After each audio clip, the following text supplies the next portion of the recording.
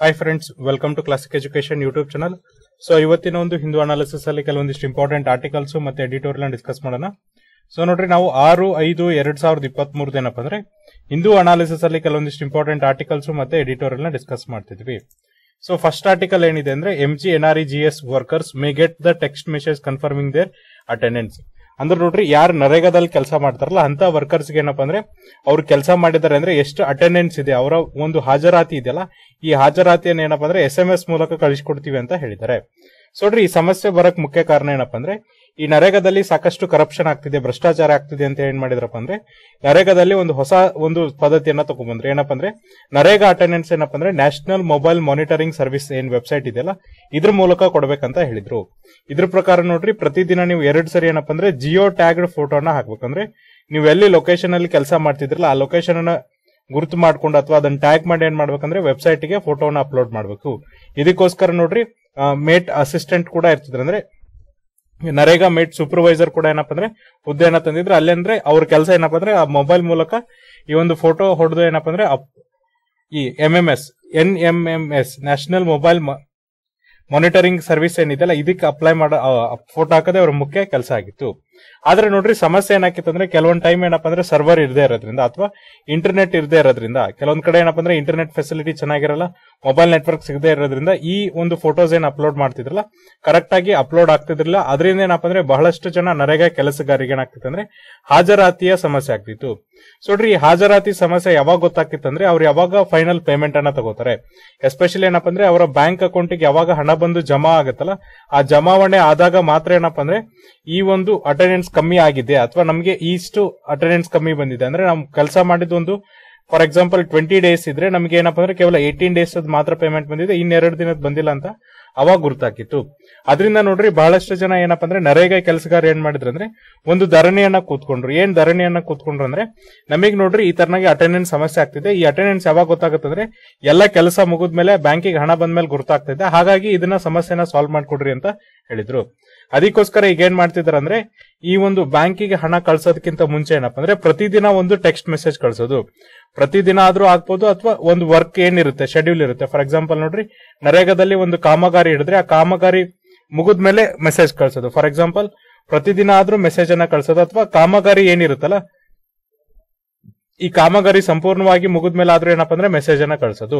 So ನೋಡ್ರಿ ಅವಾಗ ಏನಾಗುತ್ತೆ ಅಂದ್ರೆ ವರ್ಕರ್ಸ್ಗೆ ಕರೆಕ್ಟ್ ಆಗಿ ಕಾಮಗಾರಿ ಮುಗಿದ್ಮೇಲೆ, ಈಗ ಫಾರ್ ಎಕ್ಸಾಂಪಲ್ ಹದಿನೆಂಟು ದಿನ ಅಥವಾ ಹತ್ತೊಂಬತ್ತು ದಿನ ಕೆಲಸ ಮಾಡಿದ್ರೆ, ಹತ್ತೊಂಬತ್ತು ದಿನದ್ದು ಅವ್ರೇನಾದ್ರೂ ಹಾಜರಾತಿ ಕಳ್ಸಿದ್ರೆ ಅವ್ರಿಗೆ ಹತ್ತೊಂಬತ್ತು ದಿನದ ಏನಾಗ್ತದೆ ಅಂದ್ರೆ ಪೇಮೆಂಟ್ ಆಗ್ತಾರೆ ಅಥವಾ ಪ್ರತಿದಿನ ಅಟೆಂಡೆನ್ಸ್ ಅನ್ನ ಕಳ್ಸೋದ್ರಿಂದ ನೋಡ್ರಿ ನೆಕ್ಸ್ಟ್ ಡೇ ಬಂದಾಗ ಅವ್ರಿಗೆ ಏನಪ್ಪ ಅಂದ್ರೆ ಅಟೆಂಡೆನ್ಸ್ ಬಂದಿಲ್ಲ ಅಂದ್ರೆ ಅವಾಗ ಅವ್ರ ಸಮಸ್ಯೆಗಳನ್ನ ಸಾಲ್ವ್ ಮಾಡ್ಕೋಬಹುದು ಈ ತರನಾಗಿ ಏನಂದ್ರೆ ಹಾಜರಾತಿ ಸಮಸ್ಯೆಗಳೇನಾಗ್ತಿತ್ತು ನರೇಗಾದಲ್ಲಿ, ಆ ಹಾಜರಾತಿ ಸಮಸ್ಯೆಗಳನ್ನ ತೊಲಗಿಸ್ಕೋಸ್ಕರ ಏನಪ್ಪ ಅಂದ್ರೆ ಈಗ ಏನ್ ಥಿಂಕ್ ಮಾಡಿದ್ರೆ ಅಂದ್ರೆ ಪ್ರತಿದಿನ ಅಥವಾ ಕೆಲಸ ಮುಗಿದ್ಮೇಲೆ, ಒಂದ್ಸರಿ ಕಾಮಗಾರಿ ಮುಗಿದ್ಮೇಲೆ ಬ್ಯಾಂಕಿಂಗ್ ಪೇಮೆಂಟ್ ಹಾಕೋದಕ್ಕಿಂತ ಮುಂಚೆ ನಾವೇನ್ ಮಾಡ್ಬೇಕಪ್ಪ ಅಂದ್ರೆ, ಹಾಜರಾತಿನ ಕಳಿಸಿ ದೃಢೀಕರಣ ಮಾಡಿಕೊಂಡ ಮೇಲೆ ನಾವೇನ್ ಮಾಡ್ಬೇಕಂದ್ರೆ, ಈ ಒಂದು ಪೇಮೆಂಟ್ ಅನ್ನ ಹಾಕ್ಬೇಕಂತೇಳಿ ಡಿಸಿಷನ್ ಅನ್ನ ತೆಗೆದುಕೊಂಡಿದ್ದಾರೆ.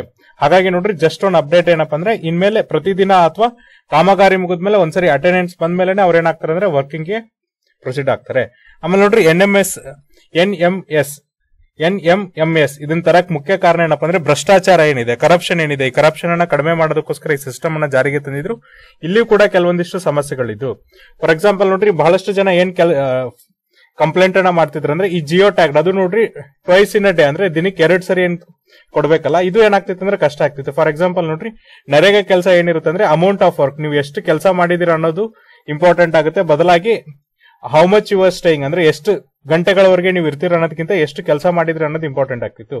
ಕೆಲವೊಬ್ರು ಏನಪ್ಪ ಅಂದ್ರೆ ಅವ್ರಿಗೆ ವಹಿಸಿದಂತ ಕೆಲಸವನ್ನ ಕೇವಲ ಎರಡ್ ಮೂರು ಗಂಟೆಗಳಲ್ಲೇ ಮುಗಿಸಿ ಮತ್ತೆ ಬೇರೆ ಕೆಲಸಕ್ಕೆ ಹೋಗೋರು ಇರ್ತಿದ್ರು. ಅಂತವ್ರಿಗೆ ಏನಂದ್ರೆ ಪ್ರತಿದಿನ ಅದನ್ನ ಎರಡ್ ಸರಿ ಜಿಯೋ ಟ್ಯಾಗ್ ಮಾಡೋ ತೊಂದರೆ ಆಗಿತ್ತು. ಬಟ್ ಈಗ ಅವರ ಏನು ಒಂದು ಮೇನ್ ಸಮಸ್ಯೆ ಇತ್ತು, ಹಾಜರಾತಿ ಸಮಸ್ಯೆ ಇತ್ತಲ್ಲ, ಅದಕ್ಕೋಸ್ಕರ ನೋಡ್ರಿ ಈಗ ಏನ್ ಮಾಡ್ತಿದ್ರು ಅಂದ್ರೆ ಪ್ರತಿದಿನ ಅಥವಾ ಕಾಮಗಾರಿ ಮುಗಿದ್ಮೇಲೆ ಅವರಿಗೆ ಹಾಜರಾತಿಯನ್ನ ಕಳಿಸ್ತಾ ಇದ್ದಾರೆ.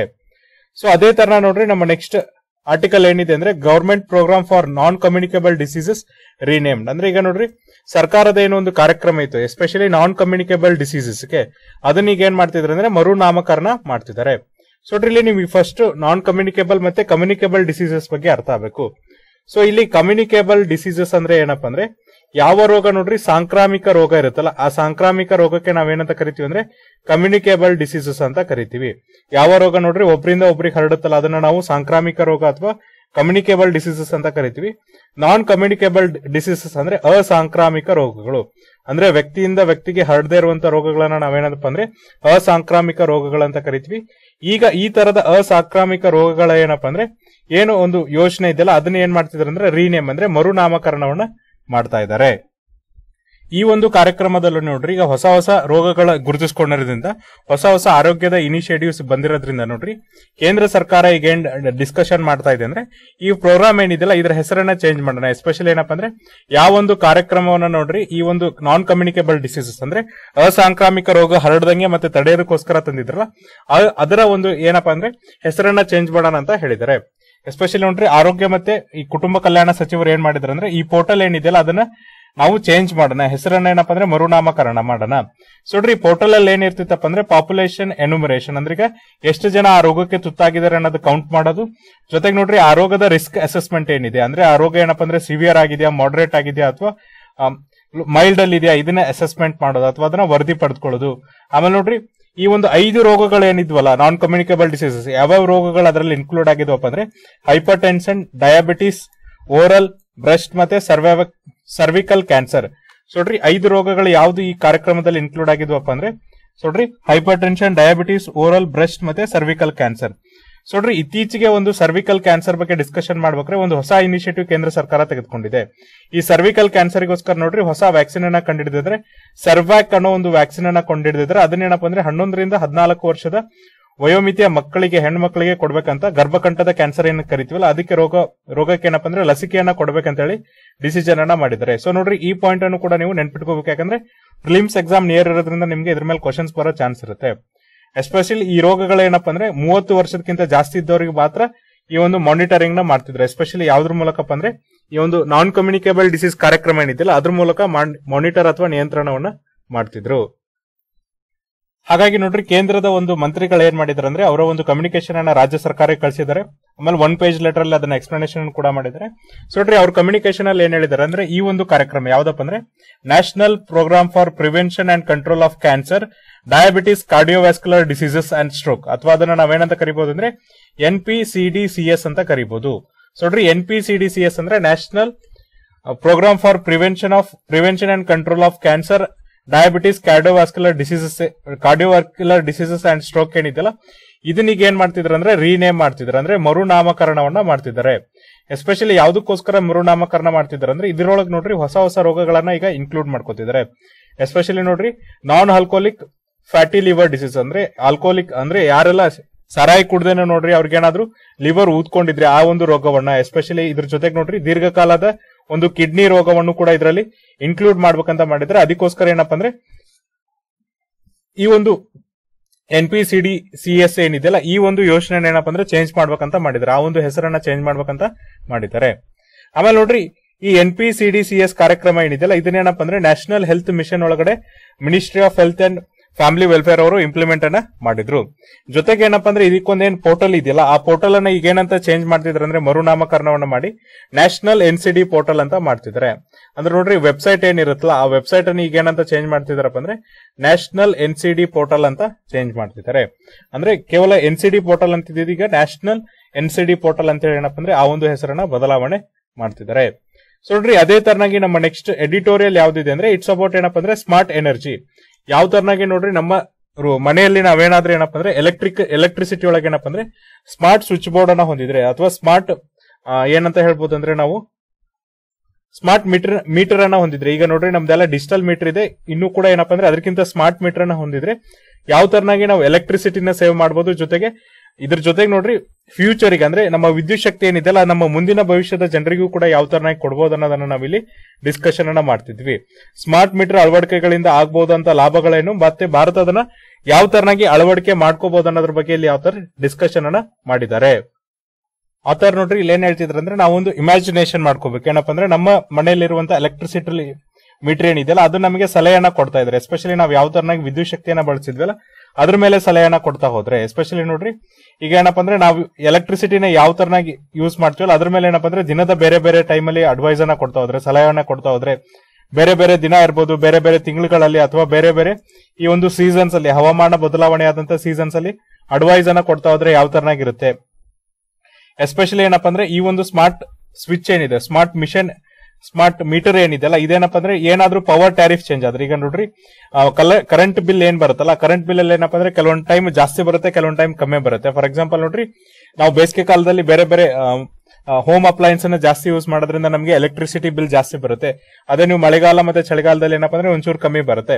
ಅದ್ರ ಬಗ್ಗೆನೂ ಕೂಡ ಇದು ಹೇಳಿದ್ರೆ ಯಾವ ತರನಾಗಿರುತ್ತೆ ಎಸ್ಪೆಷಲಿ ಏನಪ್ಪ ಅಂದ್ರೆ ಲೋವರ್ ಟ್ಯಾರಿಫ್ ಇರಡಲ್ಲ ಅಂದ್ರೆ ಕಡಿಮೆ ರೇಟ್ ಅನ್ನ ಹೇರ್ಬೇಕಾದ್ರೆ ನೀವೇನಪ್ಪ ಅಂದ್ರೆ ತುಂಬಾ ಸ್ಮಾರ್ಟ್ ಆಗಿ ಆ ಒಂದು ಕರೆಂಟ್ ಏನಿರುತ್ತಲ್ಲ ಅಥವಾ ಎಲೆಕ್ಟ್ರಿಸಿಟಿನ ಯೂಸ್ ಮಾಡ್ಕೋಬಹುದು ಜೊತೆಗೆ ನೋಡ್ರಿ, ಅದೇನ್ ಹೇಳುತ್ತಪ್ಪ ಅಂದ್ರೆ ಇದ್ರ ಜೊತೆಗೆ ಯಾವ ತರನಾಗಿ ನಮ್ಮ ಮನೇಲಿ ನಿಮ್ಮ ನಿಮ್ ಮನೇಲಿ ಏನಪ್ಪಾ ಅಂದ್ರೆ ಯಾವ ಒಂದು ಅಪ್ಲಯನ್ಸಸ್ ಅಥವಾ ಯಾವ ಒಂದು ಪ್ರಾಡಕ್ಟ್ ಏನಪ್ಪಾ ಅಂದ್ರೆ ಹೆಚ್ಚಿನ ಎಲೆಕ್ಟ್ರಿಸಿಟಿನ ಕನ್ಸ್ಯೂಮ್ ಮಾಡ್ತಾ ಇದೆ. ಅದನ್ನ ಯಾವ ತರನಾಗಿ ಏನಪ್ಪಾ ಅಂದ್ರೆ ಹೊಸದ ಒಂದು ಅಪ್ಲಯನ್ಸಸ್ ಅಥವಾ ಹೊಸ ಒಂದು ಮಟೀರಿಯಲ್ ಜೊತೆಗೆ ನೀವು ರಿಪ್ಲೇಸ್ ಮಾಡ್ಬೇಕನ್ನೋದನ್ನು ಕೂಡ ಅಡ್ವೈಸ್ ಮಾಡಿದ್ರೆ. ಅದ್ರ ಜೊತೆಗೆ ನೋಡ್ರಿ ಅದಿನ್ನೂ ಏನ್ ಮಾಡತ್ತಪ್ಪ ಅಂದ್ರೆ ಯಾರು ನಿಮ್ಮ ಪಿಯರ್ ಇರ್ತಾರೆ, ಅಂದ್ರೆ ಯಾರು ನಿಮ್ಮ ಸ್ನೇಹಿತರು ಇರ್ತಾರಲ್ಲ ಅವ್ರ ಜೊತೆಗೆ ನೀವು ಡೈರೆಕ್ಟ್ ಆಗಿ ಏನಪ್ಪ ಅಂದ್ರೆ ಸೋಲಾರ್ ಪವರ್ ಏನಿರುತ್ತೆ, ಅಂದ್ರೆ ಸೌರ ವಿದ್ಯುತ್ ಶಕ್ತಿ ಇರುತ್ತಲ್ಲ, ಅದನ್ನ ಏನ್ ಮಾಡ್ಬೋದಪ್ಪ ಅಂದ್ರೆ ವ್ಯವಹಾರ ಮಾಡಬಹುದು ಅನ್ನೋದನ್ನು ಕೂಡ ಹೇಳುತ್ತೆ. ಇದೆಷ್ಟೆಲ್ಲ ಆಗೋದು ಕೂಡ ಯಾವ್ದ್ರಿಂದ ಏನಪ್ಪ ಅಂದ್ರೆ ಕೇವಲ ಒಂದೇ ಒಂದು ಮೊಬೈಲ್ ಅಪ್ಲಿಕೇಶನ್ ಇಂದ ಏನಪ್ಪ ಅಂದ್ರೆ ಇಷ್ಟೆಲ್ಲ ಕೆಲಸಗಳಾಗುತ್ತೆ ಅಂತ ಇಲ್ಲಿ ಹೇಳಿದ್ದಾರೆ. ಈಗ ಭಾರತದಲ್ಲಿ ನೋಡ್ರಿ ಏನಾಗ್ತಿದೆ ಅಂದ್ರೆ ನಮ್ಮ ಭವಿಷ್ಯಕ್ಕೋಸ್ಕರ ನಾವು ಬದಲಾವಣೆಯನ್ನ ಮಾಡ್ಕೋತಿದ್ವಿ. ಎಸ್ಪೆಷಲಿ ಏನಪ್ಪ ಅಂದ್ರೆ ನಾವು ಆಲ್ರೆಡಿ ಈಗ ಏನ್ ಮಾಡ್ತಿದ್ವಿ ಅಂದ್ರೆ ಐದು ಪಾಯಿಂಟ್ ಐದು ಮಿಲಿಯನ್ ಅಂದ್ರೆ ಐವತ್ತೈದು ಲಕ್ಷದಷ್ಟು ಏನಪ್ಪಾ ಅಂದ್ರೆ ಸ್ಮಾರ್ಟ್ ಮೀಟರ್ನ ಆಲ್ರೆಡಿ ಇನ್ಸ್ಟಾಲ್ ಮಾಡಿದ್ವಿ ಭಾರತದಲ್ಲಿ.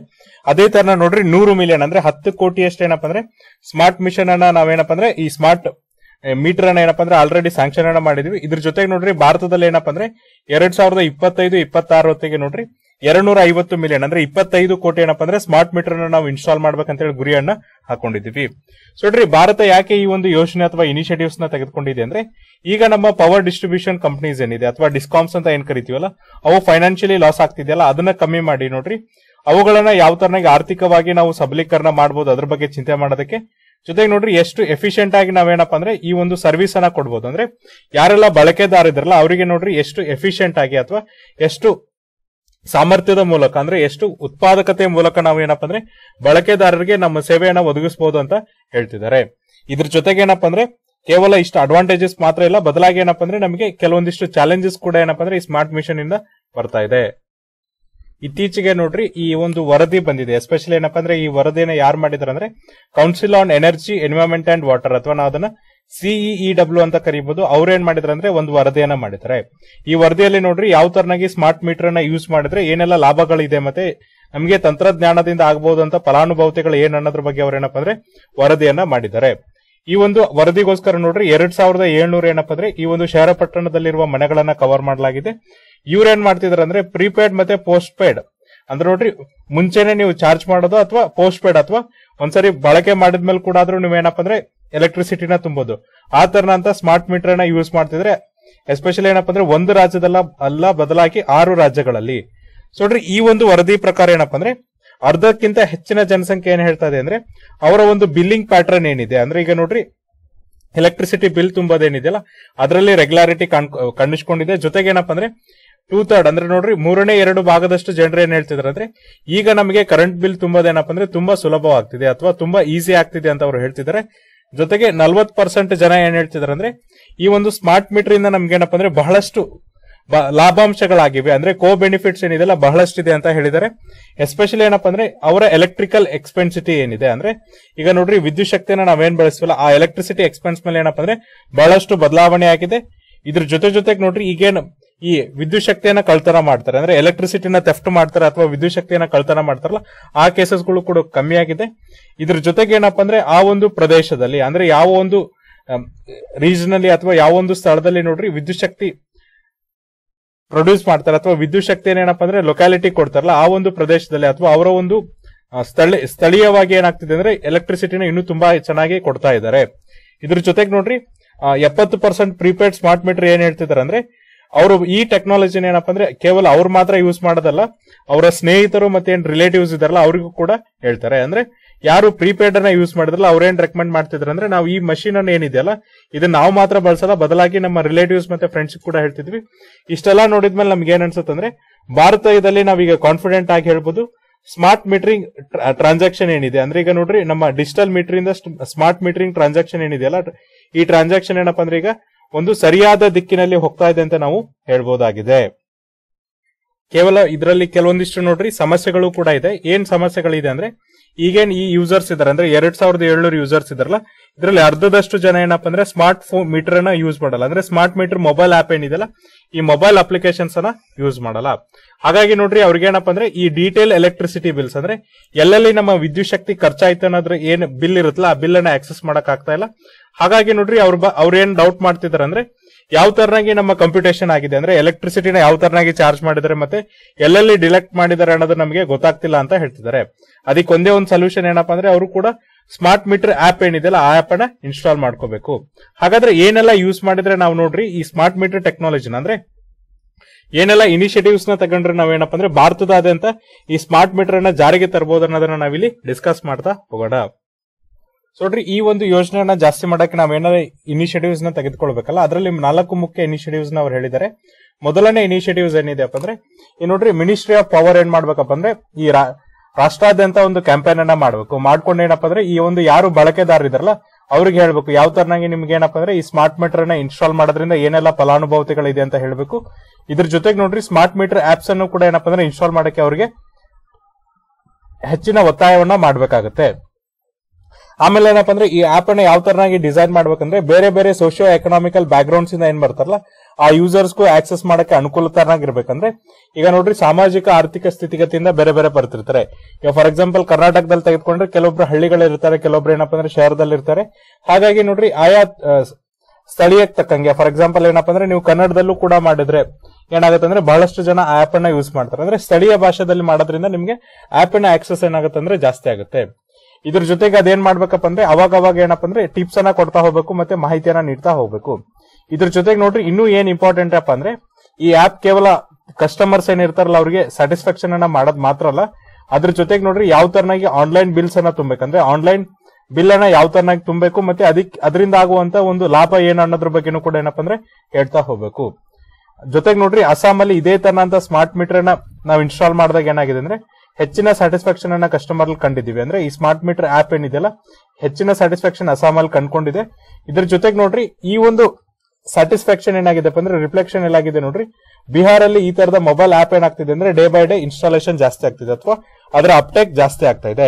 ಹಾಗಾಗಿ ನೋಡ್ರಿ, ಈ ಒಂದು ಅವಕಾಶಗಳಿಂದ ನಾವು ಕಲಿತು, ಯಾವ ತರನಾಗಿ ನಾವು ನೋಡ್ರಿ, ಬೇರೆ ಬೇರೆ ರಾಜ್ಯದ ಡಿಸ್ಕಾಮ್ಸ್ ಅಥವಾ ಪವರ್ ಡಿಸ್ಟ್ರಿಬ್ಯೂಷನ್ ಕಂಪನೀಸ್ ಏನಿದೆಯಲ್ಲ, ಅಲ್ಲಿ ಯಾವ ತರನಾಗಿ ಸ್ಮಾರ್ಟ್ ಮೀಟರ್ ಅನ್ನ ಇನ್ಸ್ಟಾಲ್ ಮಾಡಬಹುದು ಅನ್ನೋದ್ರ ಬಗ್ಗೆ ನಾವು ಚರ್ಚೆ ಮಾಡ್ತಾ ಹೋಗ್ಬೇಕು. ಜೊತೆಗೆ ಏನಪ್ಪ ಅಂದ್ರೆ ಅದನ್ನ ಇನ್ಸ್ಟಾಲ್ ಮಾಡೋಕೆ ಹೆಚ್ಚಿನ ಆದ್ಯತೆಯನ್ನ ಕೊಡಬೇಕಾಗುತ್ತೆ. ಎರಡನೇ ಯೋಜನೆ ಏನ್ ಮಾಡ್ಬೇಕು? ಎರಡನೇ ಇನಿಷಿಯೇಟಿವ್ಸ್ ಏನ್ ತಗೋಬೇಕಪ್ಪ ಅಂದ್ರೆ, ಏನ್ ಪವರ್ ಡಿಸ್ಟ್ರಿಬ್ಯೂಷನ್ ಕಂಪ್ನಿ ಇದೆಯಲ್ಲ, ಅವುಗಳು ಏನ್ ಮಾಡ್ಬೇಕಪ್ಪ ಅಂದ್ರೆ, ಈ ತರದ ಕಾರ್ಯಕ್ರಮ ಅಥವಾ ಈ ತರದ ಪ್ರೋಗ್ರಾಮ್ ಏನಿದೆಯಲ್ಲ, ಈ ಕಾರ್ಯಕ್ರಮ ಜೊತೆಗೆ ಈ ಆಪ್ ಗಳನ್ನ ಏನ್ ಮಾಡ್ಬೇಕಪ್ಪ ಅಂದ್ರೆ ಕೋ ಓನ್ ಮಾಡ್ಬೇಕು. ಆಮೇಲೆ ಏನಪ್ಪ ಅಂದ್ರೆ ಅವರು ಮುಂದೆ ಇದನ್ನ ನಡೆಸ್ಬೇಕಂತ ಹೇಳ್ತಿದ್ದಾರೆ.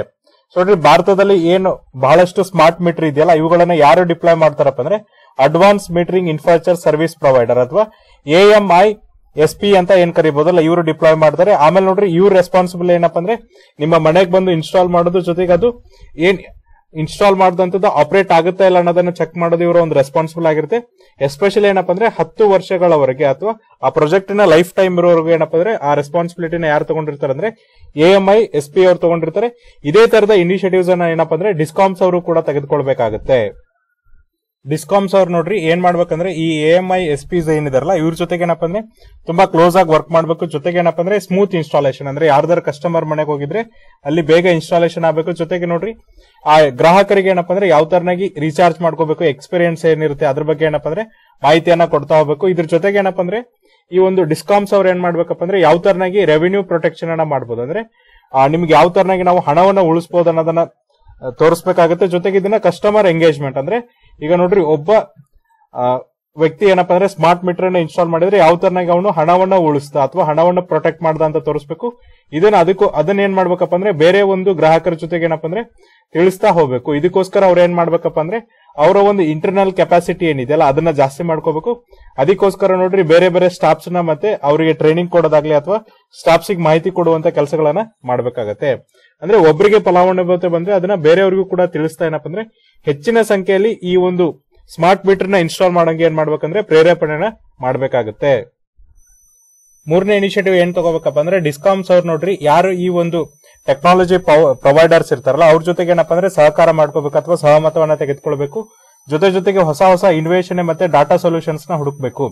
ಇದ್ರ ಜೊತೆಗೆ ನೋಡ್ರಿ ಸ್ಮಾರ್ಟ್ ಮೀಟರ್ ಏನಿದೆಯಲ್ಲ ಇದೇನಪ್ಪ ಅಂದ್ರೆ ಪ್ರತಿಯೊಬ್ಬರದು ಮೂಲಭೂತ ಹಕ್ಕಾಗಿರ್ಬೇಕು. ಅಥವಾ ಪ್ರತಿಯೊಬ್ಬರಿಗೆ ಏನಪ್ಪಾ ಅಂದ್ರೆ ಮೂಲಭೂತವಾಗಿ ಒದಗಿಸ್ಕೋಬೇಕು ಇದ್ರ ಜೊತೆಗೆ ನೋಡ್ರಿ, ಯಾವ ತರನಾಗಿ ನಾವು ಸ್ಮಾರ್ಟ್ ಮೀಟರ್ನ ಇನ್ನೂ ಹೆಚ್ಚಿಗೆ ಮಾಡ್ಬೇಕು ಅನ್ನೋದ್ರ ಬಗ್ಗೆ ಏನಪ್ಪಾ ಅಂದ್ರೆ ಅನ್ವೇಷಣೆಗಳನ್ನ ಮಾಡಬೇಕು. ಡಾಟಾ ಅನಾಲಿಟಿಕ್ಸ್ ಅಂದ್ರೆ ಯಾವ ಒಂದು ಮಾಹಿತಿ ಮೇರೆಗೆ ನಾವು ನೋಡ್ರಿ ಹೆಚ್ಚಿನ ಸ್ಕೇಲ್ ಅಲ್ಲಿ ಎಕ್ಸ್ಪ್ಯಾಂಡ್ ಮಾಡ್ಬೇಕು ಅನ್ನೋದ್ರ ಬಗ್ಗೆ ಏನಪ್ಪಾ ಅಂದ್ರೆ ಡಾಟಾವನ್ನ ಕಲೆಕ್ಟ್ ಮಾಡಬೇಕು. ಅದೇ ತರನಂತ ಬೇರೆ ಬೇರೆ ಇನಿಷಿಯೇಟಿವ್ಸ್ನ ತೆಗೆದುಕೊಂಡು ಅದನ್ನ ಏನಪ್ಪಾ ಅಂದ್ರೆ ಎಕ್ಸ್ಪಾನ್ಷನ್ ಅನ್ನ ಮಾಡಬೇಕಾಗುತ್ತೆ. ನಾಲ್ಕನೇ ಇನಿಷಿಯೇಟಿವ್ಸ್ ಏನ್ ತಗೋಬೇಕಪ್ಪ ಅಂದ್ರೆ ಪಾಲಿಸಿ ಮೇಕರ್ಸ್ ಮತ್ತೆ ರೆಗ್ಯುಲೇಟರ್ ನೋಡ್ರಿ. ಈ ರೆಗ್ಯುಲೇಷನ್ಸ್ ಅಂದ್ರೆ ನಿಯಂತ್ರಣವನ್ನು ಇನ್ನೂ ಕೂಡ ಜಾಸ್ತಿ ಸಬಲೀಕರಣವನ್ನ ಮಾಡಬೇಕು. ಜೊತೆಗೆ ನೋಡ್ರಿ, ಹೊಸ ಹೊಸ ಗ್ರಾಹಕರಿಗೆ ಒಂದು ರಿಟೇಲ್ ಮಾರುಕಟ್ಟೆ ತರುವಂತ ಏನಪ್ಪ ಅಂದ್ರೆ ಇನಿಷಿಯೇಟಿವ್ಸ್ನ ತಗೋಬೇಕು. ಜೊತೆಗೆ ಗ್ರಾಹಕರಿಗೆ ಏನಪ್ಪ ಅಂದ್ರೆ ಈ ಹೊಸ ರಿಟೇಲ್ ಮಾರುಕಟ್ಟೆಯನ್ನು ಅನ್ಲಾಕ್ ಮಾಡಕ್ಕೆ ಅವಕಾಶವನ್ನ ಮಾಡಿಕೊಡ್ಬೇಕು. ನೋಡ್ರಿ ಬಹಳ ಮಹತ್ವದಾಗಿದ್ದು ಏನಂದ್ರೆ, ಇತ್ತೀಚೆಗೆ ನಾವೇನ್ ಮಾಡ್ತಿದ್ವಿ ಅಂದ್ರೆ ಪೇಪರ್ ಬಿಲ್ ಅನ್ನ ಫೇಸ್ ಔಟ್ ಅಂದ್ರೆ ಪೇಪರ್ ಬಿಲ್ ಅನ್ನ ಕಡಿಮೆ ಮಾಡ್ಬೇಕಂತ ಮಾಡಿದ್ವಿ. ಅದಕ್ಕೋಸ್ಕರ ಅರೇಜ್ ಅಡ್ಜಸ್ಟ್ಮೆಂಟ್ ಏನಿದೆ ಅಂದ್ರೆ ಬಾಕಿ ಏನಿದೆಯಲ್ಲ ಅದರ ಅಡ್ಜಸ್ಟ್ಮೆಂಟ್ ಇರ್ಬೋದು. ಎಷ್ಟು ಫ್ರೀಕ್ವೆನ್ಸಿ ಅಂದ್ರೆ ರೀಚಾರ್ಜಬಲ್ ಅಲರ್ಟ್ ಎಷ್ಟು ಕೊಡ್ತಾರೆ ಅಂದ್ರೆ ನೋಡ್ರಿ, ಒಬ್ರು ಒಂದೇ ಸರಿ ತುಂಬ್ತಾರ ಅಥವಾ ಎರಡ್ ಮೂರ್ ಸರಿ ತುಂಬ್ತಾರ ಅಥವಾ ಬಫರ್ ಟೈಮ್ ಎಷ್ಟಿದೆ ರೀಬೇಟ್ಸ್ ಎಷ್ಟಿದೆ ಡಾಟಾ ಪ್ರೈವೇಸಿ ಏನಿದೆಯಲ್ಲ, ಇವುಗಳನ್ನ ನಾವೇನಪ್ಪ ಅಂದ್ರೆ ರೆಗ್ಯುಲೇಟರಿ ಆರ್ಡರ್ ಅಲ್ಲಿ ಬಂದಿಲ್ಲ, ಅವುಗಳನ್ನ ಅಳವಡಿಸ್ಕೋಬೇಕು. ಅವುಗಳನ್ನ ಅಳವಡಿಸ್ಕೊಳ್ಳೋದ್ರಿಂದ ನೋಡ್ರಿ ನಮಗೆ ಒಂದು ಎಕ್ಸ್ಪೀರಿಯನ್ಸ್ ಸಿಗುತ್ತೆ. ಈಗ ಫಾರ್ ಎಕ್ಸಾಂಪಲ್ ನೋಡ್ರಿ ಒಂದು ಹೌಸ್ ಹೋಲ್ಡ್ ಇದ್ರೆ ಅವರು ಎಷ್ಟ್ ತಿಂಗಳಿಗೊಮ್ಮೆ ಬಿಲ್ ತುಂಬ್ತಾರೆ ರೆಗ್ಯುಲರ್ ಆಗಿ ತುಂಬ್ತಾರ ಅಥವಾ ಅಲ್ಲಿ ಏನಪ್ಪ ಅಂದ್ರೆ ಒಂದ್ ತಿಂಗಳು ಬಿಟ್ಟು ಒಂದ್ ತಿಂಗಳಿಗೆ ಒಂದ್ಸರಿ ತುಂಬ್ತಾರೆ. ಇದು ನಮಗೆ ಸಿಗೋದ್ರಿಂದ ಏನಂದ್ರೆ ಆ ತರನಾಗಿ ನಾವೇನಪ್ಪ ಅಂದ್ರೆ ಅವರಿಗೆ ಸ್ಮಾರ್ಟ್ ಮೀಟರ್ ಅಂತ ಒದಗಿಸೋದಕ್ಕೆ ಅನುಕೂಲಕರವಾಗಿತ್ತೆ ಅಂತ ಹೇಳಿದ್ದಾರೆ. ಇದ್ರ ಜೊತೆಗೆ ನೋಡ್ರಿ, ಇನ್ನೂ ಹೆಚ್ಚಿನದಾಗಿ ಏನ್ ಮಾಡ್ಬೇಕಂದ್ರೆ, ಹೊಸ ಹೊಸ ಇನೋವೇಷನ್ಸ್ನ ಮಾಡಬೇಕು. ಜೊತೆಗೆ ನೋಡ್ರಿ ಟ್ಯಾರಿಫ್ ಡಿಸೈನ್ ಏನಿದೆ. ಅಂದ್ರೆ ಈಗ ನಮಗೆ ಡೆಸ್ಕಾಮ್ ಅವ್ರು ಏನು ಹಣವನ್ನ ಹಾಕ್ತಾರೆ. ಅಥವಾ ಈಗ ನೋಡ್ರಿ, ನಾವು ಪ್ರತಿ ಎಷ್ಟು ಯೂನಿಟ್ ಅನ್ನ ಬಳಸ್ತೀವಲ್ಲ, ಅದಕ್ಕೆ ಹಣವನ್ನ ಹಾಕ್ತಾರಲ್ಲ, ಅದನ್ನು ಕೂಡ ಏನಪ್ಪಾ ಅಂದ್ರೆ ಚೇಂಜ್ ಮಾಡ್ತಾ ಹೋಗ್ಬೇಕು. ಸೊ ನೋಡ್ರಿ, ಗ್ರಾಹಕರ ಫ್ರೆಂಡ್ಲಿ ಆಗಿರ್ಬೇಕು. ಅಂದ್ರೆ ನೀವು ಕಮ್ಮಿ ಹಣವನ್ನ ಚಾರ್ಜ್ ಮಾಡಿದ್ರೆ ಹೆಚ್ಚಿನ ಬಳಕೆದಾರರಾಗ್ತಾರೆ ಹೆಚ್ಚಿನ ಹಣವನ್ನ ಚಾರ್ಜ್ ಮಾಡಿದ್ರೆ ಕಮ್ಮಿ ಬಳಕೆದಾಗ್ತಾರೆ ಆ ತರ ನೀವೇನಪ್ಪ ಅಂದ್ರೆ ಒಂದು ರಾಷನಲ್ ಆಗಿ ಥಿಂಕ್ ಮಾಡಿ ನೀವೇನಪ್ಪ ಅಂದ್ರೆ ಈ ಒಂದು ಚೇಂಜಸ್ ಅನ್ನ ಮಾಡ್ಬೇಕಂತ ಹೇಳಿದ್ರೆ. ಇದ್ರ ಜೊತೆಗೆ ನೋಡ್ರಿ ಕಳೆದ ಒಂದು ತಿಂಗಳಲ್ಲಿ ಏನಪ್ಪ ಅಂದ್ರೆ ಪವರ್ ಮಿನಿಸ್ಟರ್ ಏನ್ ಪ್ರಪೋಸಲ್ ಮಾಡಿದ್ರಂದ್ರೆ ಎಲೆಕ್ಟ್ರಿಕಲ್ ರೂಲ್ಸ್ ಏನಿದೆಲ್ಲ ಎಲೆಕ್ಟ್ರಿಸಿಟಿ ರೂಲ್ಸ್ಗೆ ಕೆಲವೊಂದಿಷ್ಟು ತಿದ್ದುಪಡಿಗಳನ್ನ ತಂದ್- ತಗೊಂಡ್ಬಂದು ಈ ಟ್ಯಾರಿಫ್ ರೇಟ್ ಅನ್ನ ಏನ್ ಮಾಡೋಣ ಅಂದ್ರೆ ಚೇಂಜ್ ಮಾಡೋಣ. ಅದ್ರ ನೋಡ್ರಿ ಟ್ಯಾರಿಫ್ ರೇಟ್ ಏನಪ್ಪ ಅಂದ್ರೆ ಯೂನಿಫಾರ್ಮ್ ಆಗಿರಬಾರ್ದು, ಬದಲಾಗಿ ಏನಪ್ಪ ಅಂದ್ರೆ one zero to fifty units ಅನ್ನ ಯೂಸ್ ಮಾಡಿದವ್ರು ಕಮ್ಮಿ ಇರಬೇಕು ಫಿಫ್ಟಿ ಟು ಏಟಿ ಯೂಸ್ ಮಾಡಿದವ್ರಿಗೆ ಚೇಂಜ್ ಇರಬೇಕು. ಈ ತರನಾಗಿ ಚೇಂಜಸ್ ಅನ್ನ ಮಾಡ್ತಾ ಹೋಗೋದ್ರಿಂದ ನೋಡ್ರಿ ಅಗ್ದಿ ಕಡಿಮೆ ಇರೋರು, ಬಡವರು ಅಥವಾ ಬೇರೆ ಬೇರೆಯವರು ಕೂಡ ಏನಪ್ಪ ಅಂದ್ರೆ ಈ ಮೀಟರ್ನ ಇನ್ಸ್ಟಾಲ್ ಮಾಡ್ಕೊಳ್ಳಕ್ಕೆ ಮುಂದೆ ಬರ್ತಾರೆ. ಭಾರತ ಈಗ ಏನಾಗಿದೆಪ್ಪ ಅಂದ್ರೆ ಒಂದು ಜರ್ನಿಯಲ್ಲಿ ಇದೆ ಎಸ್ಪೆಷಲಿ ಏನಂದ್ರೆ ನಾವೀಗ ಏನ್ ಮಾಡ್ತಿದ್ವಿ ಅಂದ್ರೆ ಈ ಒಂದು ಗ್ರೀನ್ ಎನರ್ಜಿ ಕಡೆಗೆ, ಅಂದ್ರೆ ಹಸಿರು ಇನ್ನದ ಕಡೆಗೆ ಹೆಚ್ಚಿನ ಫೋಕಸ್ ಅನ್ನ ಮಾಡ್ತಾ ಇದೀವಿ. ಹಾಗಾಗಿ ನೋಡ್ರಿ ನಮ್ಗೆ ಏನಪ್ಪ ಅಂದ್ರೆ ಸ್ಮಾರ್ಟ್ ಮೀಟರ್ಸ್ ಏನಿದೆಯಲ್ಲ, ಈ ಒಂದು ಟ್ರಾನ್ಸಿಷನ್ ಅಲ್ಲಿ ಅಂದ್ರೆ ಈಗಿರುವಂತ ಎನರ್ಜಿ ಸೋರ್ಸ್ ಏನಪ್ಪ ಅಂದ್ರೆ ಗ್ರೀನ್ ಎನರ್ಜಿಗೆ ಹೋಗಲು ಬಹಳ ಸಹಾಯವನ್ನ ಮಾಡ್ತವೆ. ಎಸ್ಪೆಷಲಿ ಏನಪ್ಪ ಅಂದ್ರೆ ಯಾರೆಲ್ಲ ಗ್ರಾಹಕರಿಗಿರ್ತಾರಲ್ಲ ಅವ್ರಿಗೆ ಯಾವ ತರನಾಗಿ ನಾವು ಬಳಸಬೇಕು? ಅಂದ್ರೆ ಜವಾಬ್ದಾರಿ ಹಾಕಿ ಯಾವ ತರನಾಗಿ ಬಳಸಬೇಕು? ಮತ್ತೆ ಎಷ್ಟು ಎಫಿಷಿಯಂಟ್ ಆಗಿ ನಾವು ಬಳಸ್ಕೋಬೇಕು? ಕರೆಂಟ್ ಅನ್ನ ನೋಡ್ರಿ, ಸುಮ್ನೆ ಲೈಟ್ ಹಚ್ಬಿಟ್ಟಿರ್ತಾರೆ. ಅದ್ರ ಬದಲಾಗಿ ಏನಪ್ಪ ಅಂದ್ರೆ ಎಷ್ಟು ಜವಾಬ್ದಾರಿಯುತವಾಗಿ ಬಳಸ್ಕೋಬಹುದು ಮತ್ತೆ ನೋಡ್ರಿ, ಕೆಲವೊಂದು ಡಿವೈಸ್ ಏನಪ್ಪ ಅಂದ್ರೆ ಬಹಳಷ್ಟು ಕರೆಂಟ್ ಅನ್ನ ಕನ್ಸ್ಯೂಮ್ ಮಾಡ್ತಿರುತ್ತೆ. ಅದನ್ನ ರಿಪ್ಲೇಸ್ ಮಾಡಿ ಹೊಸ ಡಿವೈಸ್ ತರೋದ್ರಿಂದ ನಿಮಗೆ ಕರೆಂಟ್ ಕನ್ಸಂಪ್ಷನ್ ಕಮ್ಮಿ ಆಗುತ್ತೆ. ಇದ್ರ ಜೊತೆಗೆ ಏನಪ್ಪ ಅಂದ್ರೆ ಕಾಸ್ಟ್ ಅನ್ನು ಕೂಡ ಕಮ್ಮಿ ಮಾಡುವಂತ ಅವಕಾಶಗಳು ಕೂಡ ಇಲ್ಲಿ ಇರುತ್ತೆ ಅಂದ್ರೆ ಕೇವಲ ಕರೆಂಟ್ ಕನ್ಸಂಪ್ಷನ್ ಅಲ್ಲ, ಗ್ರಾಹಕರಿಗೆ ಏನಪ್ಪಾ ಅಂದ್ರೆ ಒಂದು ವಿದ್ಯುತ್ ಶಕ್ತಿಯ ಸದ್ಬಳಕೆ ಜೊತೆಗೆ ಎಷ್ಟು ರೆಸ್ಪಾನ್ಸಿಬಲ್ ಆಗಿ ನಾವು ಬಳಸ್ಕೋಬಹುದು ಅನ್ನೋದನ್ನ ಹೇಳ್ತಾರೆ. ಇದರಿಂದ ನಮ್ಗೆ ಏನಪ್ಪ ಅಂದ್ರೆ ಏನ್ ಡಿಮ್ಯಾಂಡ್ ಇದೆ? ಅಂದ್ರೆ ಪ್ರತಿ ವರ್ಷ ನಮಗೆ ನೋಡ್ರಿ ಎಲೆಕ್ಟ್ರಿಸಿಟಿ ಡಿಮ್ಯಾಂಡ್ ಏನ್ ಜಾಸ್ತಿ ಆಗ್ತಿದಿಲ್ಲ.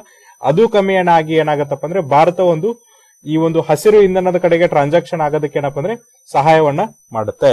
ಇದ್ರ ಜೊತೆಗೆ ನೋಡ್ರಿ ಸ್ಮಾರ್ಟ್ ಮಿಷನ್ ಇನ್ನೂ ಕೂಡ ಜಾಸ್ತಿ ಬಳಕೆ ಆಗ್ಬೇಕಂದ್ರೆ ಅವು ಯೂಸರ್ ಸೆಂಟ್ರಿಕ್ ಆಗಿರ್ಬೇಕು. ಜೊತೆಗೆ ಏನಪ್ಪ ಅಂದ್ರೆ ಅವು ಏನಾಗಿರ್ಬೇಕಪ್ಪ ಅಂದ್ರೆ ಗ್ರಾಹಕರ ಸುತ್ತಲೇ ಇರ್ಬೇಕಂದ್ರೆ ಗ್ರಾಹಕರಿಗೆ ಅದರಿಂದ ಏನಪ್ಪ ಅಂದ್ರೆ ತುಂಬಾ ಆಕರ್ಷಣೆ ಆಗ್ಬೇಕು. ಅವಾಗ ಮಾತ್ರ ಏನಾಗುತ್ತಂದ್ರೆ ನಮ್ಮ ಏನ್ ಸ್ಮಾರ್ಟ್ ಮಿಷನ್ ಮಿಷನ್ ಇದೆಯಲ್ಲ, ಅದು ಸಾಧ್ಯ ಆಗತ್ತೆ ಅಂತ ಇಲ್ಲಿ ಹೇಳಿದ್ದಾರೆ. ಅದೇ ತರ ನೋಡ್ರಿ, ನಮ್ಮ ನೆಕ್ಸ್ಟ್ ಎಡಿಟೋರಿಯಲ್ ಯಾವ್ದಿದೆ ಅಂದ್ರೆ it's about India's G twenty ಮತ್ತೆ ಎಸ್ ಸಿ ಯು ಸಮಿಟ್ಸ್ ಅಂದ್ರೆ ನೋಡ್ರಿ, ಭಾರತ ಯಾವ ತರನಾಗಿ ಏನಪ್ಪ ಅಂದ್ರೆ ಜಿ ಟ್ವೆಂಟಿ ಸಭೆಗಳನ್ನ ಮತ್ತೆ ಎಸ್ ಸಿ ಸಭೆಗಳನ್ನ ಯಾವ ತರನಾಗಿ ಮೇಂಟೈನ್ ಮಾಡಬೇಕು. ಅಂದ್ರೆ ಭಾರತಕ್ಕೆ ಏನಪ್ಪ ಅಂದ್ರೆ ಎರಡಕ್ಕೂ ಪ್ರೆಸಿಡೆಂಟ್ ಆಗಿದೆ. ಅಂದ್ರೆ ಅಧ್ಯಕ್ಷ ಸ್ಥಾನವನ್ನು ವಹಿಸಿಕೊಂಡಿದೆ. ಎಸ್ಪೆಷಲಿ ಜಿ ಟ್ವೆಂಟಿ ದೇಶಗಳ ಅಧ್ಯಕ್ಷ ಸ್ಥಾನವನ್ನು ಎರಡ್ ಸಾವಿರದ ಇಪ್ಪತ್ತ್ ಮೂರಲ್ಲಿ ಭಾರತ ವಹಿಸಿಕೊಂಡ್ರೆ ಅದೇ ತರನಾಗಿ ಶಾಂಘಾಯ್ ಕೋಆಪರೇಷನ್ ಆರ್ಗನೈಸೇಷನ್ ಇದೆಯಲ್ಲ, ಎರಡನ್ನೂ ಕೂಡ ಹೊಂದ್ಕೊಂಡಿದೆ ಹಾಗಾಗಿ ನೋಡ್ರಿ, ಭಾರತ ಯಾವ ತರನಾಗಿ ಕೆಲಸ ಮಾಡ್ಬೇಕು? ಎಸ್ಪೆಷಲಿ ಏನಪ್ಪಾ ಅಂದ್ರೆ ಈಗಿರುವಂತ ಒಂದು ಜಾಗತಿಕ ಸ್ಥಿತಿಗತಿಗಳಲ್ಲಿ ಅಂತ ಹೇಳಿ ಡಿಸ್ಕಷನ್ ಅನ್ನ ಮಾಡ್ತಿದ್ವಿ. ಆಮೇಲೆ ನೋಡ್ರಿ ಆರ್ಟಿಕಲ್ ಅನ್ನ ಬರ್ದವ್ರು ಯಾರಪ್ಪ ಅಂದ್ರೆ ಎಂ ಕೆ ನಾರಾಯಣ್. ಇವ್ರೇನಪ್ಪ ಅಂದ್ರೆ ಇಂಟೆಲಿಜೆನ್ಸ್ ಬೀರೋದೇನಪ್ಪ ಅಂದ್ರೆ ಫಾರ್ಮರ್ ಡೈರೆಕ್ಟರ್ ಆಗಿದ್ರು. ಜೊತೆಗೆ ನೋಡ್ರಿ ಫಾರ್ಮರ್ ನ್ಯಾಷನಲ್ ಸೆಕ್ಯೂರಿಟಿ ಅಡ್ವೈಸರ್ ಆಗಿ ಕೂಡ ಇವ್ರೇನಪ್ಪ ಅಂದ್ರೆ ಕೆಲಸವನ್ನ ಮಾಡಿದ್ದಾರೆ. ಈಗ ಭಾರತಕ್ಕೆ ನೋಡ್ರಿ, ಎರಡು ಆರ್ಗನೈಸೇಷನ್ ಏನಪ್ಪ ಅಂದ್ರೆ ಅಧ್ಯಕ್ಷೀಯ ಸ್ಥಾನ ಇದೆ. ಒಂದು ಜಿ ಟ್ವೆಂಟಿ ದೇಶಗಳು ಇನ್ನೊಂದೇನಪ್ಪ ಅಂದ್ರೆ ಶಾಂಘಾಯ್ ಕೋಆಪರೇಷನ್ ಆರ್ಗನೈಸೇಷನ್ ಆಮೇಲೆ ಈಗಿರುವಂತಹ ಪರಿಸ್ಥಿತಿಗಳಲ್ಲಿ ಏನಪ್ಪ ಅಂದ್ರೆ ನಾವು ಅವುಗಳಲ್ಲಿ ಎದುರಿಸುತ್ತಿರುವ ಸಮಸ್ಯೆಗಳ ಹೆಚ್ಚಿನ ಫೋಕಸ್ ಅನ್ನ ಮಾಡಬಾರ್ದು. ಬದಲಾಗಿ ಎರಡೂ ದೇಶಗಳನ್ನ ಅಥವಾ ಎರಡೂ ಒಂದು ಸಂಘಟನೆಗಳಿಂದ ನಮಗೇನ್ ಲಾಭಾಂಶ ಆಗುತ್ತೆ. ಅಂದ್ರೆ ಜಗತ್ತಿಗೆ ಏನ್ ಲಾಭಾಂಶ ಆಗುತ್ತಲ್ಲ, ಅದ್ರ ಬಗ್ಗೆ ನಾವೇನಪ್ಪ ಅಂದ್ರೆ ಹೆಚ್ಚಿನ ಕಾನ್ಸಂಟ್ರೇಷನ್ ಅನ್ನ ಮಾಡಬೇಕು. ಜೊತೆಗೆ ನೋಡ್ರಿ, ಭಾರತದ ಪ್ರಧಾನಮಂತ್ರಿಗಳು ಏನಪ್ಪ ಅಂದ್ರೆ ಲಾಸ್ಟ್ ಇಯರ್ ಜಿ ಟ್ವೆಂಟಿ ಅಧ್ಯಕ್ಷತೆಯನ್ನು ವಹಿಸ್ಕೋಬೇಕಾದ್ರೆ ಏನ್ ಹೇಳಿದ್ರೆ ಅಂದ್ರೆ, ಜಾಗತಿಕ ಶಾಂತಿ ಅನ್ನೋದೇ ನಮ್ಮ ಮುಖ್ಯ ಧ್ಯೇಯೋದಯ ಆಗಿದೆ. ಅಂದ್ರೆ ನಾವು ಜಾಗತಿಕ ಶಾಂತಿಗೋಸ್ಕರ ಏನಪ್ಪ ಅಂದ್ರೆ ಹೋರಾಟ ಮಾಡ್ತೀವಿ ಅಂತ ಹೇಳಿದ್ರು. ಹಾಗಾಗಿ ಏನಪ್ಪ ಅಂದ್ರೆ, ಭಾರತ ಅದ್ರ ಬಗ್ಗೆ ಏನ್ ಮಾಡ್ಬೇಕಂದ್ರೆ, ನಾವು ಹೆಚ್ಚಿನ ಗಮನವನ್ನ ಹರಿಸಬೇಕಾಗಿದೆ. ಇದ್ರ ಜೊತೆಗೆ ನೋಡ್ರಿ, ಈಗಿರುವಂತ ಜಾಗತಿಕ ಆರ್ಥಿಕ ಸ್ಥಿತಿಗತಿ ಏನಿದೆ ಅಂದ್ರೆ, ಜಾಗತಿಕ ರಾಜಕೀಯ ಸ್ಥಿತಿಗತಿ ಏನ್ ಚೇಂಜ್ ಆಗ್ತಾ ಇದೆಯಲ್ಲ, ಅದ್ರದ್ದು ದಿಂದ ದೂರ ಇರ್ಬೇಕಂದ್ರೆ ಜಾಗತಿಕ ಆರ್ಥಿಕ, ಜಾಗತಿಕ ರಾಜಕೀಯ ಸ್ಥಿತಿಗತಿ ನೋಡ್ರಿ ಒಂದ್ ಕಡೆ ಪೋಲರೈಸೇಷನ್ ಆಗ್ತಿದೆ ಒಂದ್ ಕಡೆ ಚೈನಾ, ರಷ್ಯಾ ಇದ್ರೆ ಇನ್ನೊಂದ್ ಕಡೆ ಏನಪ್ಪ ಅಂದ್ರೆ ಯು ಎಸ್ ಇದೆ. ಈ ತರ ಪೋಲರೈಸೇಷನ್ ಆಗ್ಬೇಕಾದ್ರೆ ನಾವೇನ್ ಮಾಡ್ಬೇಕಂದ್ರೆ ಈ ಎರಡೂ ಕಡೆ ಹೋಗ್ದೇನಪ್ಪ ಅಂದ್ರೆ ನ್ಯೂಟ್ರಲ್ ಆಗಿದ್ದೆ ಏನ್ ಮಾಡ್ಬೇಕಂದ್ರೆ ಒಂದು ಪಾಸಿಬಿಲಿಟಿನ ತರಬೇಕಂದ್ರೆ ಎರಡೂ ಗುಂಪುಗಳು ಹೊಂದುವಂತವು ಮತ್ತೆ ಜಗತ್ತಿಗೆ ಶಾಂತಿ ತರುವಂತ ಕೆಲಸಗಳನ್ನ ಮಾಡ್ಬೇಕಾಗತ್ತೆ. ಸೊ ನೋಡ್ರಿ ಭಾರತದ ಈ ವರ್ಷ ಅಧ್ಯಕ್ಷೀಯ ಸ್ಥಾನ ವಹಿಸ್ಕೊಂಡ್ಮೇಲೆ ಪ್ರಿಯಾರಿಟೀಸ್ ಏನಿದೆ ಅಂದ್ರೆ ಆದ್ಯತೆಗಳು ಏನಿದೆ ಅಂದ್ರೆ ಮೊದಲೇ ನೋಡ್ರಿ ಹವಾಮಾನ ಬದಲಾವಣೆ ಆಮೇಲೆ ಹಸಿರು ಇಂಧನ ಅಥವಾ ಕ್ಲೀನ್ ಎನರ್ಜಿ ಅಥವಾ ಸ್ವಚ್ಛ ಇಂಧನ. ಆಮೇಲೆ ನೋಡ್ರಿ ಸಸ್ಟೈನೇಬಲ್ ಡೆವಲಪ್ಮೆಂಟ್ ಪ್ರೋಗ್ರಾಮ್ಸ್ ಅಂದ್ರೆ ಸುಸ್ಥಿರ ಅಭಿವೃದ್ಧಿ ಕಾರ್ಯಕ್ರಮಗಳು. ಜೊತೆಗೆ ಏನಪ್ಪಾ ಅಂದ್ರೆ ಮಲ್ಟಿಲ್ಯಾಟ್ರಲ್ ಇನ್ಸ್ಟಿಟ್ಯೂಟ್ ಏನಿದೆ, ಅಂದ್ರೆ ಈಗ ನೋಡ್ರಿ ಬಹು ಆಯಾಮದ ಸಂಸ್ಥೆಗಳಾದಂತ ಫಾರ್ ಎಕ್ಸಾಂಪಲ್ ನೋಡ್ರಿ ವಿಶ್ವಸಂಸ್ಥೆ ಇರ್ಬೋದು ಯುನೈಟೆಡ್ ನೇಷನ್ ಜನರಲ್ ಅಸೆಂಬ್ಲಿ ಇರ್ಬೋದು, ಅಥವಾ ವಿಶ್ವಸಂಸ್ಥೆ ಭದ್ರತಾ ಮಂಡಳಿ, ಈ ಈ ಮಂಡಳಿಗಳದ್ದೇನಪ್ಪ ಅಂದ್ರೆ ರಿಫಾರ್ಮ್ಸ್ ಏನಿದೆಯಲ್ಲ, ಇವುಗಳ ಸುಧಾರಣೆಗಳ ಬಗ್ಗೆ ಮಾತಾಡ್ತಿದ್ದಾರೆ.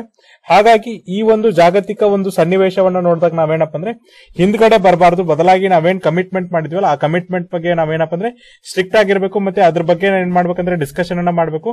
ಆ ಕಮಿಟ್ಮೆಂಟ್ಸ್ ಅನ್ನ ನಾವೇನಪ್ಪ ಅಂದ್ರೆ ರೀಚ್ ಆಗೋ ರೀತಿಯಲ್ಲಿ ನಾವು ನೋಡ್ಕೋಬೇಕು. ಬದಲಾಗಿ ಏನಪ್ಪ ಅಂದ್ರೆ ಜಾಗತಿಕ ರಾಜಕೀಯ ಸ್ಥಿತಿಗತಿಯಿಂದ ಹಿಂದ್ಗಡೆ ಬರಬಾರ್ದು ಅಂತೇಳಿ ಹೇಳಿದ್ದಾರೆ.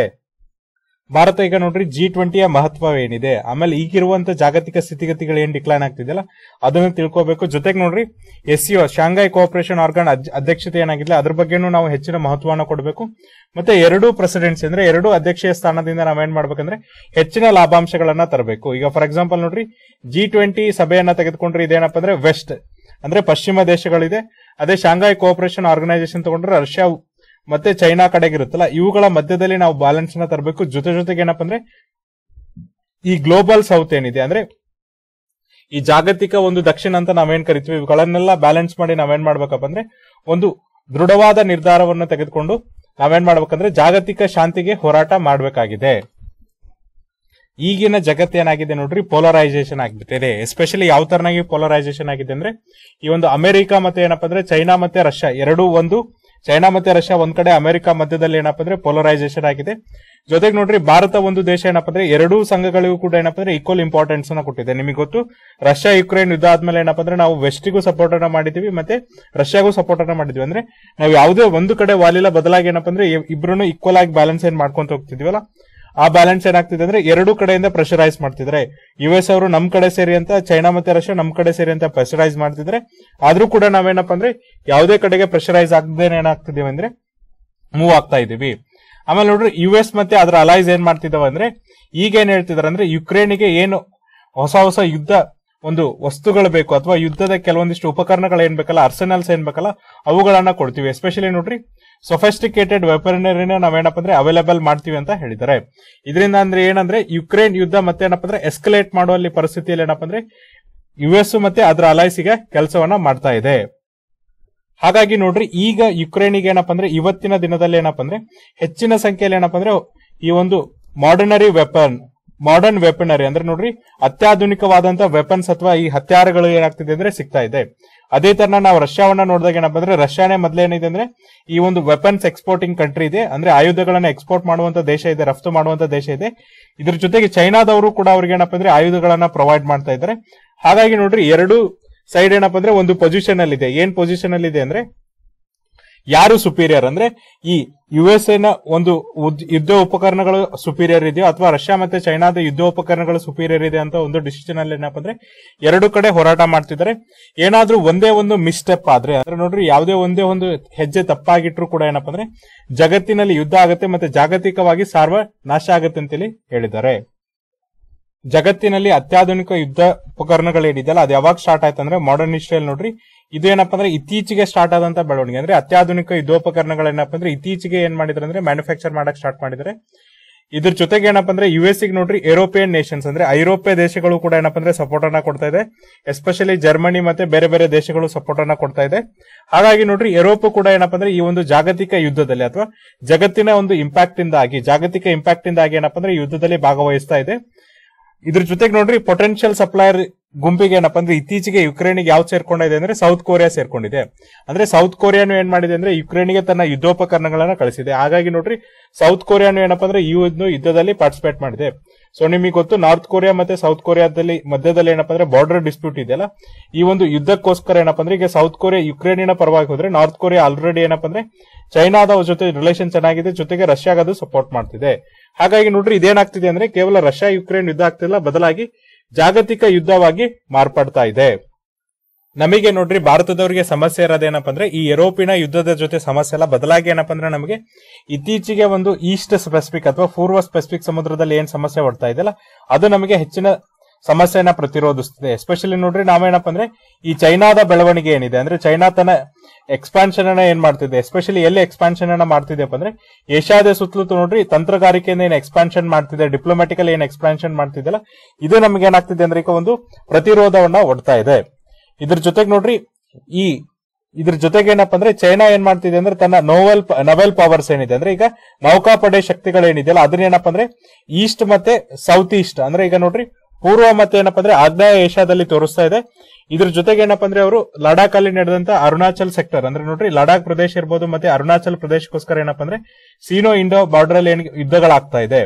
ಅಂದ್ರೆ ಲಡಾಖ್ ಅನ್ನ ಅವರು ನಮಗ್ ಬಿಟ್ಕೊಡ್ರಿ ಅಂತ ಹೇಳಿ ಆಲ್ರೆಡಿ ಏನಪ್ಪ ಅಂದ್ರೆ ನೈನ್ಟೀನ್ ಸಿಕ್ಸ್ಟಿ ಟೂ ಅಲ್ಲಿ ವಾರ್ ಮಾಡಿ ಕೆಲವೊಂದಿಷ್ಟು ಟೆರಿಟರಿನ ಏನ್ ಅಕ್ಯುಪೈ ಮಾಡ್ಕೊಂಡಿದ್ದಾರೆ.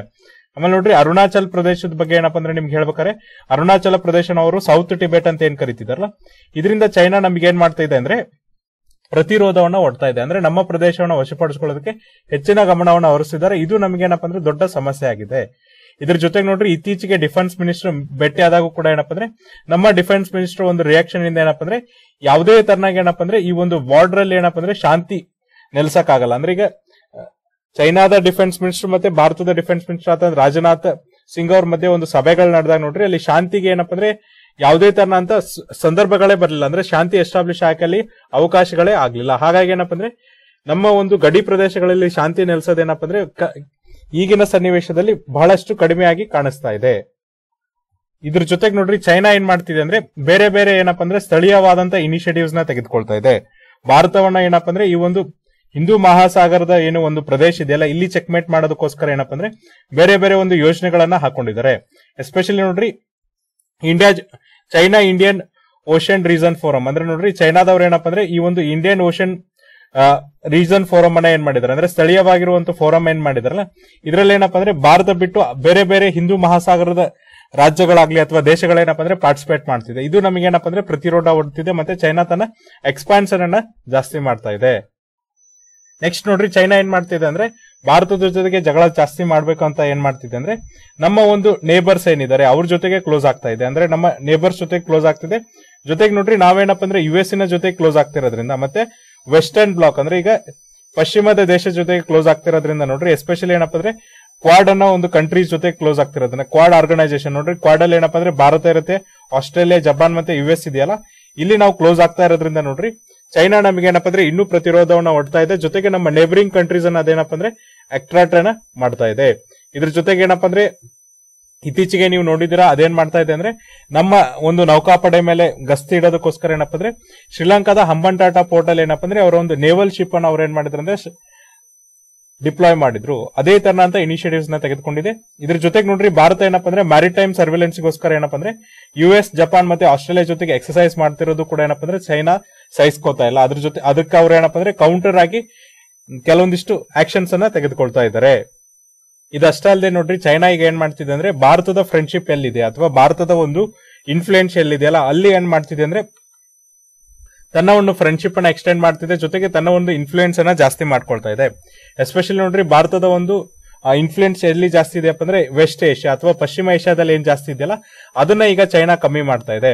ಎಸ್ಪೆಷಲಿ ಯಾವ ತರನಾಗಿ ಕಮ್ಮಿ ಮಾಡ್ತಿದೆ ಅಂದ್ರೆ ತನಗಿರುವಂತ ಒಂದು ಮಸ್ಕ್ಯುಲರ್ ಮತ್ತೆ ಡಿಪ್ಲೊಮ್ಯಾಟಿಕ್ ಇದರಿಂದ ಅಂದ್ರೆ ಅವ್ರಿಗೆ ಸಾಲ ಕೊಡೋದು ಅಥವಾ ಅವ್ರನ್ನೇನಪ್ಪ ಅಂದ್ರೆ ಡಿಪ್ಲೊಮ್ಯಾಟಿಕ್ ಆಗಿ ಏನ ಮಾಡ್ತಿದೆ ಅಂದ್ರೆ ತನ್ನ ತೆಕ್ಕೆಗೆ ಅದು ಹಾಕೋತಿದೆ ಫಾರ್ ಎಕ್ಸಾಂಪಲ್ ನೋಡ್ರಿ ಡಿಪ್ಲೊಮ್ಯಾಟಿಕ್ ಆಗಿ ಯಾವ ತರನಾಗ ಅಂದ್ರೆ ಇರಾನ್ ಮತ್ತೆ ಸೌದಿ ಅರೇಬಿಯಾ ಬಹಳಷ್ಟು ವರ್ಷಗಳಿಂದ ಏನಪ್ಪ ಅಂದ್ರೆ ಒಂದು ಶತ್ರು ದೇಶಗಳಾಗಿದ್ವು.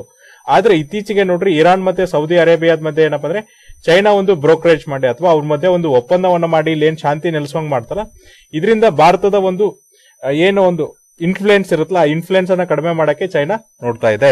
ಇದ್ರ ಜೊತೆಗೆ ನೋಡ್ರಿ, ಭಾರತದ ಅತ್ಯಂತ ಫ್ರೆಂಡ್ ಆದಂತ ಫಾರೆಸ್ಟ್ ಫ್ರೆಂಡ್ ಆದಂತ ನೋಡ್ರಿ ಈಜಿಪ್ಟ್ ಅಲ್ಲೂ ಕೂಡ ನಮ್ದು ಏನಪ್ಪ ಅಂದ್ರೆ ಏನ್ ಮೊದಲು ಇನ್ಫ್ಲೂಯೆನ್ಸ್ ಇತ್ತಲ್ಲ, ಆ ಇನ್ಫ್ಲೂಯೆನ್ಸ್ ಅನ್ನು ಕೂಡ ಈಗ ಚೈನಾ ಕಮ್ಮಿ ಮಾಡಿದೆ. ಇದ್ರ ಜೊತೆಗೆ ನೋಡ್ರಿ ವೆಸ್ಟ್ ಏಷ್ಯಾ ರೀಜನ್ ಅಲ್ಲಿ ಏನಪ್ಪ ಅಂದ್ರೆ, ಭಾರತದ ಒಂದು ಇನ್ಫ್ಲೂಯೆನ್ಸ್ ಅನ್ನ ಕಡಿಮೆ ಮಾಡಿ ಚೈನಾ ಏನ್ ಮಾಡ್ತಿದೆ ಅಂದ್ರೆ, ತನ್ನ ಇನ್ಫ್ಲೂಯೆನ್ಸ್ ಅನ್ನ ಜಾಸ್ತಿ ಮಾಡ್ತಾ ಇದೆ. ಜೊತೆಗೆ ಏನಪ್ಪ ಅಂದ್ರೆ ಭಾರತವನ್ನ ಈ ಒಂದು ದೇಶಗಳಲ್ಲಿ ಏನಪ್ಪ ಅಂದ್ರೆ ಕಂಪ್ಲೀಟ್ ಆಗಿ ಮಾರ್ಜಿನಲೈಸ್ ಮಾಡ್ತಾ ಇದೆ. ಅಂದ್ರೆ ನಮ್ಮನ್ನ ಮೂಲೆ ಗುಂಪು ಮಾಡ್ತಾ ಇದೆ ಅಂತ ಇಲ್ಲಿ ಹೇಳ್ತಿದ್ದಾರೆ. ಭಾರತಕ್ಕೆ ನೋಡ್ರಿ ಚೈನಾದೇನು ಒಂದು ಇಂಟೆನ್ಷನ್ ಇದೆಯಲ್ಲ ಇಂಟೆನ್ಷನ್ ಗೊತ್ತಾಗಿದೆ. ಜೊತೆಗೆ ಏನಪ್ಪ ಅಂದ್ರೆ ನಮಗೆ ಚೈನಾ ಯಾವ ತರನಾಗಿ ಒಂದು ಯುದ್ಧ ಮಾಡಬಹುದು ಎಸ್ಪೆಷಲಿ ಏನಪ್ಪ ಅಂದ್ರೆ ಅದು ಒಂದೇ ಕಡೆ ಯುದ್ಧ ಮಾಡಲ್ಲ, ಬದಲಾಗಿ ಹೈಬ್ರಿಡ್ ವಾರ್ಫೇರ್ ಅಂದ್ರೆ ನೋಡ್ರಿ, ಬೇರೆ ಬೇರೆ ಆಯಾಮದಿಂದ ಯುದ್ಧ ಏನ್ ಮಾಡುತ್ತ ಅದ್ರ ಬಗ್ಗೆ ನಾವು ತಿಳ್ಕೊಬೇಕಾಗಿದೆ. ಎಸ್ಪೆಷಲಿ ಏನಪ್ಪ ಅಂದ್ರೆ ಅವರು ಸೈಬರ್ ಟ್ಯಾಕ್ಟಿಕ್ಸ್ ಅಲ್ಲಿ ಮುಂದೆ ಇದ್ದಾರೆ. ಅಂದ್ರೆ ಸೈಬರ್ ಯುದ್ಧ ಮಾಡಬಹುದು ನಮ್ಮ ಜೊತೆಗೆ, ಅಥವಾ ಏನ್ ಮಾಡ್ಬೋದಪ್ಪ ಅಂದ್ರೆ ಹಿಮಾಲಯನ್ ರಿವರ್ಸ್ ಏನಿದೆ. ಅಂದ್ರೆ ಹಿಮಾಲಯದ ನದಿಗಳನ್ನ ಏನಪ್ಪ ಅಂದ್ರೆ ಬೇರೆ ಕಡೆಗೆ ಡೈವರ್ಟ್ ಮಾಡಬಹುದು ಇತ್ತೀಚೆಗೆ ಗೊತ್ತು ನಿಮಗೆ ಬ್ರಹ್ಮಪತ್ರ ನದಿ ಮೇಲ್ಗಡೆ ಏನಪ್ಪ ಅಂದ್ರೆ ಡ್ಯಾಮ್ ಅನ್ನ ಕಟ್ತಾ ಇದೆ. ಇದರಿಂದ ಆರ್ಟಿಫಿಷಿಯಲ್ ಫ್ಲಡ್ ಅನ್ನ ಮಾಡುವಂತ ಉದ್ದೇಶವನ್ನು ಏನ್ ಚೈನಾ ಹೊಂದಿದೆಯಲ್ಲ, ಈ ತರದ ಟ್ಯಾಕ್ಟಿಕ್ಸ್ ಅನ್ನು ಕೂಡ ಮಾಡಬಹುದು ಅದ್ರ ಜೊತೆಗೆ ನೋಡ್ರಿ ಮಾಡರ್ನ್ ಟ್ಯಾಕ್ಟಿಕ್ಸ್ ಏನಿದೆ. ಎಸ್ಪೆಷಲಿ ಏನಪ್ಪಾ ಅಂದ್ರೆ ಐದನೇ ಸೆಂಚುರಿ ಬಿಸಿಯಲ್ಲಿ ಏನಪ್ಪಾ ಅಂದ್ರೆ ಚೈನಾದ ಒಬ್ರು ಸ್ಟ್ರಾಟಜಿಸ್ ಅಥವಾ ತಂತ್ರಗಾರಿಕಾ ಆದಂತ ಏನಪ್ಪಾ ಅಂದ್ರೆ ಸಂತೂಜ್ ಅವ್ರು ಏನ್ ಹೇಳ್ತಾರೆ? Winning wars without fighting the without fighting through avoiding the enemy strength and attacking his weakness ಅಂದ್ರೆ ಯುದ್ಧಗಳನ್ನ ಏನಪ್ಪ ಅಂದ್ರೆ ಯಾವುದೇ ತರನಾಗಿ ನಾವೇನಪ್ಪ ಅಂದ್ರೆ ಯುದ್ಧ ಮಾಡ್ದೇನೆ ಗೆಲ್ಲದು. ವಿನ್ನಿಂಗ್ ವಾರ್ಸ್ ವಿತೌಟ್ ಫೈಟಿಂಗ್ ಅಂದ್ರೆ ಅಲ್ಲಿ ಜಗಳ ಮಾಡ್ದೇನೆ ನಾವೇನಪ್ಪ ಅಂದ್ರೆ ಯುದ್ಧ ಗೆಲ್ಲದು. ಜೊತೆಗೆ ನೋಡ್ರಿ ನಾವೇನ್ ಮಾಡೋದಂದ್ರೆ ಈ ಒಂದು ಶತ್ರುಗಳ ಒಂದು ಸ್ಟ್ರೆಂತ್ ಏನಿದೆ, ಬಲ ಏನಿದೆ, ಅದನ್ನ ಅವಾಯ್ಡ್ ಮಾಡೋದು. ಬದಲಾಗಿ ಅವರ ವೀಕೆಸ್ಟ್ ಮೇಲೆ ಏನಪ್ಪ ಅಂದ್ರೆ ಹೆಚ್ಚಿನ ಅಟ್ಯಾಕ್ ಅನ್ನ ಮಾಡೋದು.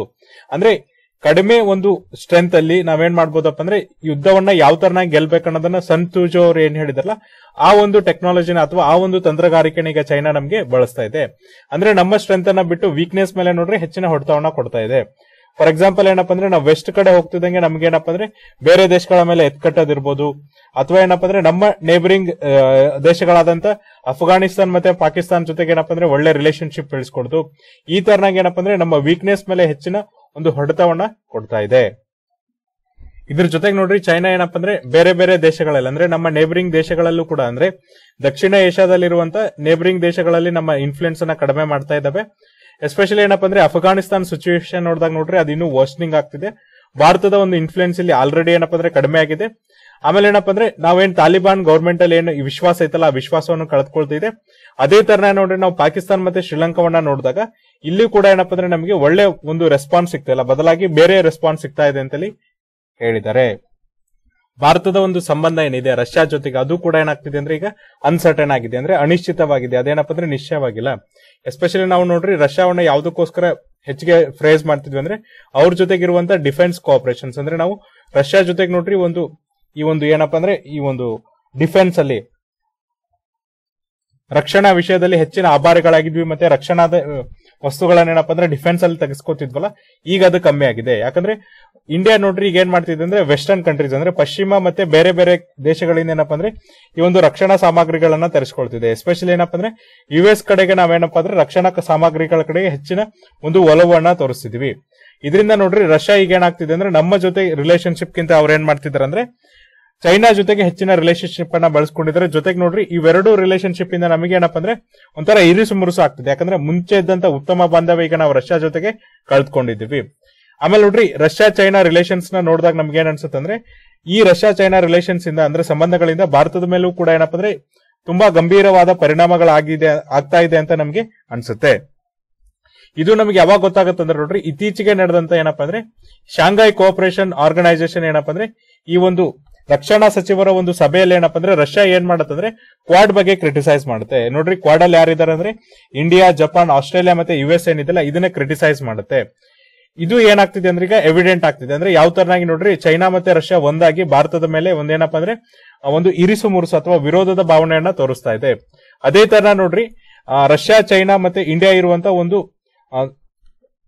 ಯೋಜನೆ ಆದಂತ ಅಥವಾ ಒಂದು ಏನಪ್ಪ ಅಂದ್ರೆ ಸಮಿಟ್ ಆದಂತ ಬ್ರಿಕ್ ಸಮಿಟ್ ಕೂಡ ಏನಪ್ಪ ಅಂದ್ರೆ ಅದರ ಚಾರ್ಮನ್ನ ಅನ್ನ ಕಳೆದುಕೊಂಡಿದೆ ಮತ್ತೆ ಡೈನಾಸಮ್ನ ಕಳೆದುಕೊಂಡಿದೆ ಜೊತೆಗೆ ನಾವೀಗ ಏನಪ್ಪಾ ಅಂದ್ರೆ ರಷ್ಯಾ ಜೊತೆಗೆ ಕೇವಲ ಏನಪ್ಪ ಅಂದ್ರೆ ಎಕನಾಮಿಕಲ್ ಕಂಟೆಂಟ್ ಅಂದ್ರೆ ಆರ್ಥಿಕ ಒಂದು ಲಾಭಾಂಶಕ್ಕೋಸ್ಕರ ಅಥವಾ ಒಂದು ವ್ಯಾಪಾರಕ್ಕೋಸ್ಕರ ಮಾತ್ರ ಇದೀವಿ. ಫಾರ್ ಎಕ್ಸಾಂಪಲ್ ಏನಪ್ಪ ಅಂದ್ರೆ ನಮ್ಮ ಒಂದು